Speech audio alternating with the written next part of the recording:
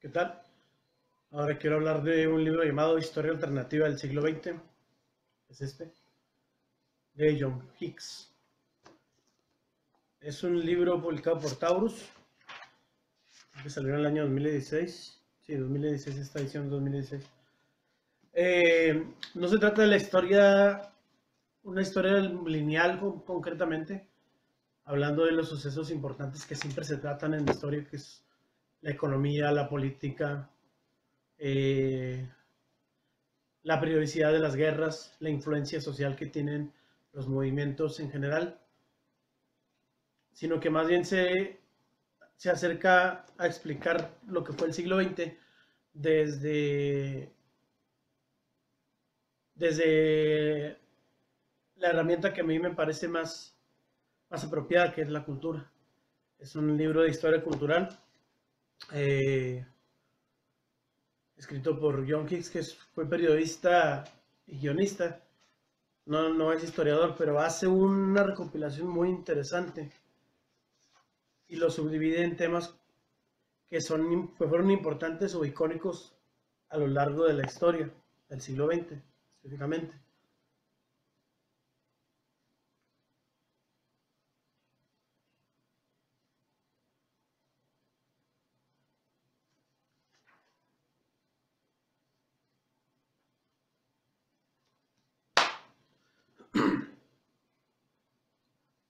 ¿Qué tal? Eh, hoy quiero hablar de este libro llamado Historia Alternativa del siglo XX de John Hicks, publicado por Taurus en el año 2016. es un documento escrito por un periodista británico eh, que se acerca a explicar la historia del siglo anterior, no desde, lo, desde los esquemas conocidos la economía y la política o la guerra, sino más bien lo hace desde la herramienta más efectiva para, para, que, se, para que se entiendan todos esos grandes tópicos, que es la cultura. Es el, el tipo de historia que a mí más me, me, atrae, tanto como lector y aficionado, tanto y como historiador. Eh, en lugar de hacer el recuento así paso a paso de cada uno de los sucesos que aparecieron, acontecieron en el siglo XX, va agarrando un tema y de ahí va desarrollando, eh, deshebrando los temas relacionados. Por ejemplo, habla del modernismo, de lo que fue el, impacto cultural y económico que tuvo la teoría de la relatividad para, para el contexto de principios del siglo XX, los años 30, hacia adelante, y que todavía hoy repercute en el pensamiento de Einstein en, la ciencia y, en la cultura general. Pero también trata de, de tópicos filosóficos como el individualismo o el existencialismo, el posmodernismo, eh, el, nihilismo, la ciencia ficción, eh, el principio el principio del concepto de adolescentes que no se tenía en el siglo XIX y que es en el siglo XX cuando cuando la generación tradicional comienza a, crecer, y con crecer me refiero no solamente a crecer biológicamente, sino a crecer, a tener impacto en la vida moderna de, de, los países, sobre todo los industrializados. El concepto de adolescente no existía, fue acuñado por psicólogos como más, bien, más que psicólogos, pedagogos, como Kohlberg y como Piaget, cuando se hace su, estudio de las etapas del, del, desarrollo humano y se incluye a la adolescencia. Pero más que eso, el siglo XX tuvo varios movimientos en los que los adolescentes fueron no solo los que desarrollaron ese movimiento, sino que fueron el, el público o el, la, capa de la población hacia la que iba dirigido. El rock and roll es uno de ellos. Pero también lo es la tecnología de la información. Quienes están más, quienes se enteran primero de los avances tecnológicos, llámese computación o internet, son los adolescentes. Y sobre ellos sobre lo que va dirigido los productos tecnológicos y también la televisión, también las películas tocaban temas juveniles, algo que no se hacía en el arte en, los años anteriores. Eh, termina el, libro diciendo que el conglomerado, el conglomerado cultural en el que vivimos está sintetizado ya con el acceso a Internet. Y, el, y Hicksman maneja el concepto de el mundo de hoy es un mundo de seguimos las mismas reglas, eh, a pesar de que creemos que somos libres. Ese concepto lo maneja Marshall McLuhan, que también es citado en el libro. Eh, resaltó la información de, un, de uno de los capítulos, el primer capítulo. No, perdón, es el segundo. En el que habla de una obra que fue atribuida a Marcel Duchamp, que era la obra de, un retrete, la exhibición de retretes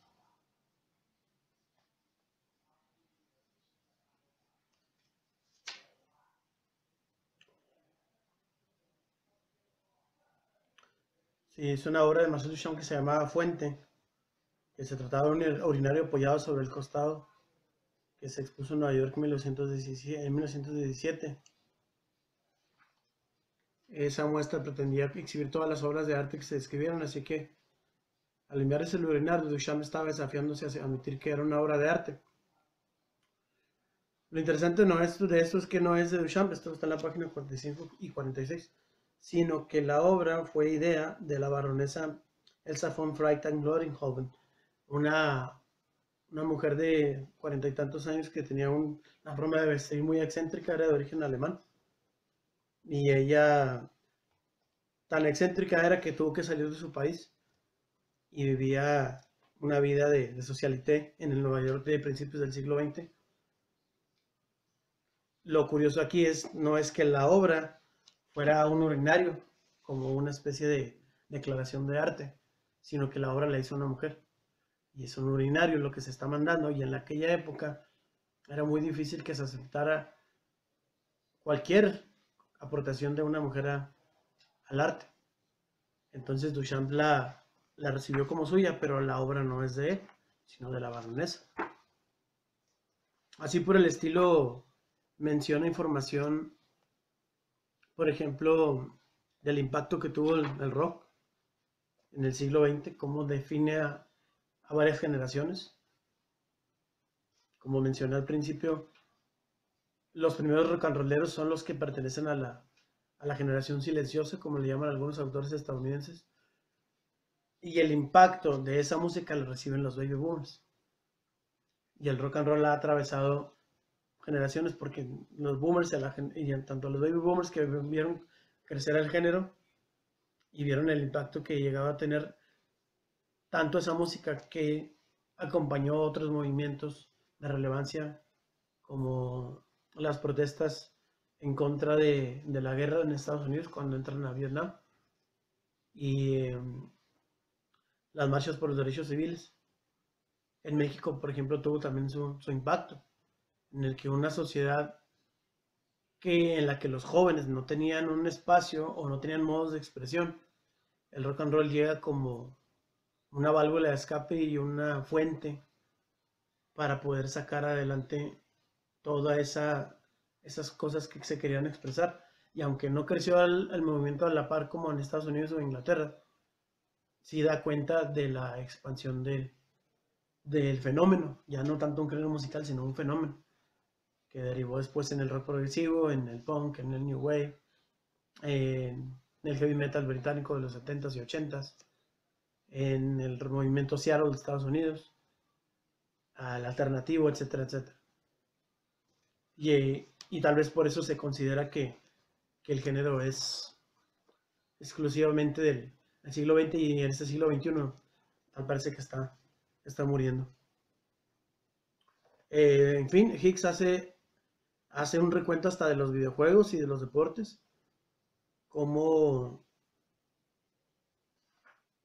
cómo cada uno de ellos va a tener su público y su impacto y que ya los, los filósofos del posmodernismo ya no se dedican tanto a las cuestiones de la existencia y del ser, sino a mencionar el impacto de la cultura, de la televisión, del cine, de la música, los deportes, y cómo se hace, yo no le diría reciclaje, más bien se hace un, un, conglomerado de ideas para acercar tanto a la filosofía como tal, como a los temas, a los temas ya mencionados, llevarlos al gran público.